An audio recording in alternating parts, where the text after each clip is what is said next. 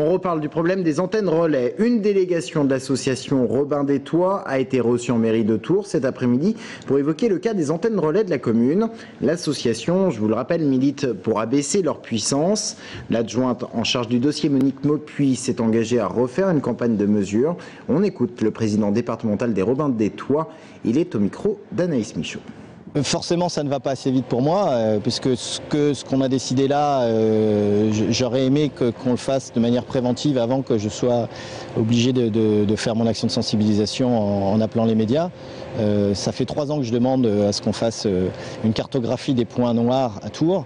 On va y arriver petit à petit. Là aussi, c'est un point positif de la discussion. Madame Maupuy a, donné son accord pour qu'on envisage, euh, une, fois qu'on aura réglé les points chauds hein, liés au projet euh, Free, qu'on envisage d'étudier les autres euh, antennes existantes et que petit à petit, on fasse le tour des antennes de la ville.